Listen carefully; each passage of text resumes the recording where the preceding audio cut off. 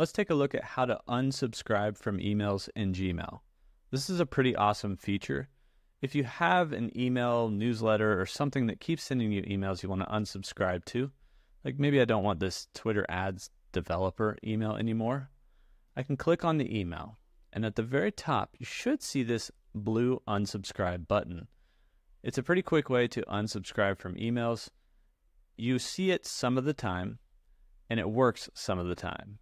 But when it does, it's great. So I'm going to click this and see if I can stop getting messages from this mailing list. This one says I have to go to the website.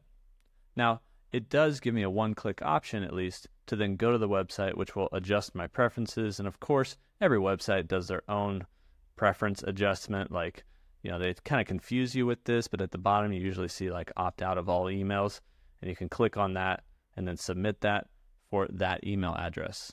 In this case, I actually had to fill out the email address. So this was the FlippyFin app email, add in the email address, opt out of all, submit. And so that should then actually unsubscribe me from that email list.